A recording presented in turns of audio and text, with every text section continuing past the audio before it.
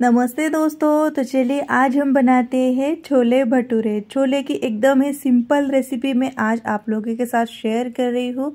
बिना प्याज, बिना लहसुन, बिना कोई ताम झाम करते हुए इंस्टेंट छोले बनाएँगे हम। अगर आपको सुबह नाश्ते में भी एक छोले भटूरे बनाने हो तो इससे फास्ट रेसिपी आपको नहीं मिलेगी, क्योंकि बहुत ही सिंपल तरीके से मैंने आज आपको बनाना बताया है। तो चलिए सबसे पहले हम छोले बनाते हैं। भटूरे बाद में बनाएँगे। छोले पकने में देर लगती है। तो यहाँ पे देख सकते हैं, छोले को मैंने रात को ही भिगो के रखा था। सुबह इसको कुकर में एक सीटी लाकर तैयार कर लिया है। इसे आप फ्रोज़न बनाकर भी रख सकते हैं। मेरा जो मराठी का चैनल है, जिस स्वातिज रेसिपी उसमें फ्रोज़न कैसे बनाते हैं, वो भी मैंने शेयर किया है। आप चाहे तो उस पर भी जाकर देख सकते हैं। यहाँ पे देख लीजिएगा, टमाटर और धनिया पाउडर का मैंने पेस्ट बना लिया है। क्योंकि इसमें आज हम कोई मसाला नहीं पीसेंगे या फिर प्याज, लहसुन कुछ नहीं डालेंगे। तो कढ़ाई में तेल गरम कर दिया था, जिसमें डाल दिया है हींग और कुछ खड़े मसाले जैसे कि तेज पत्ता बड़ी इलायची, दालचीनी, लवंग, छोटी इलायची और थोड़ा सा जीरा। सभी को तेल के साथ अच्छे से भून लेते हैं। बाद में जो टमाटर का हमने पेस्ट बना के रखा था धनिया पाउडर के साथ उसे डाल देते हैं। धनिया पाउडर के साथ टमाटर का पेस्ट ज़रूर बनाइएगा। धनिया पाउडर का फ्लेवर टमाटर के साथ जब मिल जाता है तो बहुत ही ज़्यादा लाजवाब लगता है। तो इस पेस्ट को हम अच्छे से भून लेते हैं कि इसमें से मॉइस्चर ख़त्म हो जाए और ये अच्छे से तेल छूटने लगे। जब भी आपको सुबह टिफ़िन के लिए बनाना हो या फिर झटपट इसे बनाना हो, अचानक से मेहमान आ जाए और कुछ बनाना है तो आप अगर फ्रिज में छोले फ्रोज़न है तो इसे आप तुरंत पंद्रह मिनट में ही बनाकर तैयार करेंगे। तो इसमें कुछ सूखे मसाले डालते हैं, जैसे कि लाल मिर्च का पाउडर, हल्दी पाउडर और नमक। लाल मिर्च का पाउडर मैंने इसमें थोड़ा सा ज़्यादा डाल दिया है, क्योंकि मुझे अच्छे से स्पाइसी छोले बनाने हैं। आप अपने हिसाब से लाल मिर्च का पाउडर और नमक कम ज़्यादा कर सकते हैं।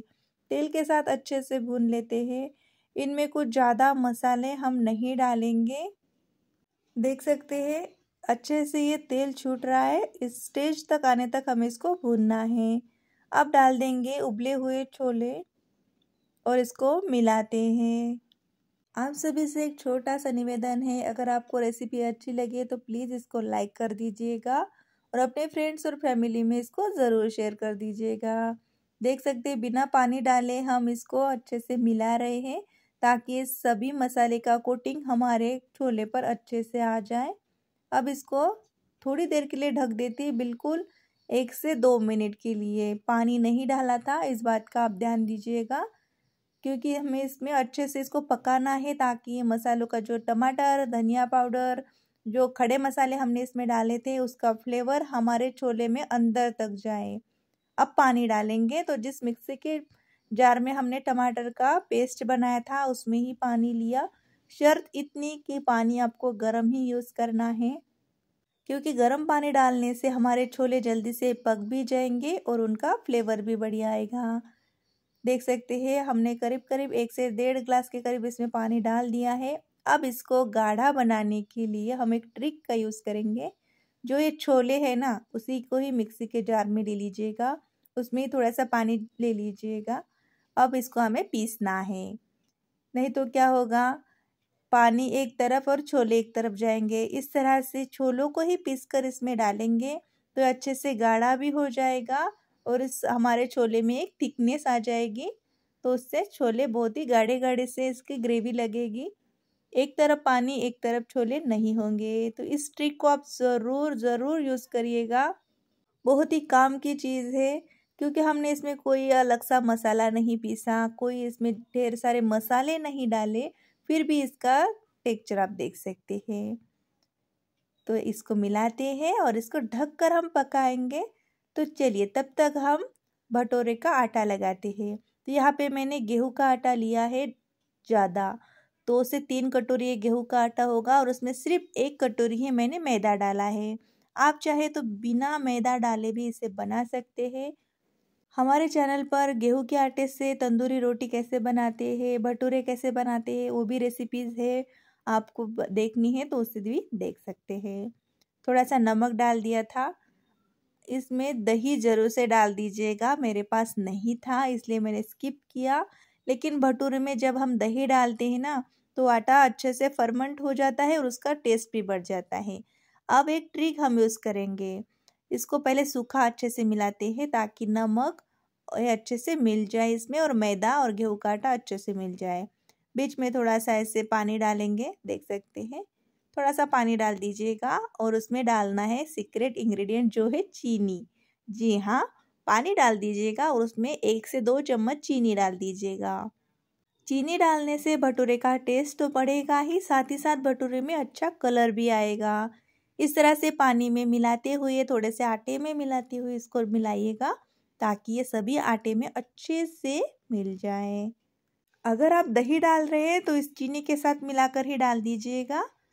अब थोड़ा थोड़ा पानी डालकर हम इसका आटा लगाते हैं। पानी यहाँ पे रूम टेम्परेचर वाला ही लिया है मैंने, कोई ठंडा या गर्म ऐसा कोई नहीं है।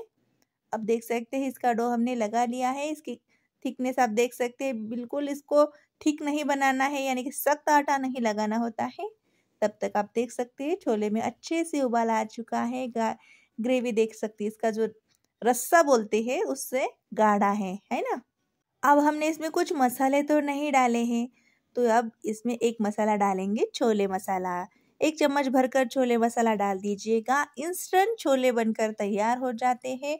ना कोई ढेर सारे मसाले डालने हैं, ना कोई इसमें कोई ग्रेवी के लिए मसाला पीसना है। कसूरी मेथी ज़रूर से डालनी है और मिला दीजिए।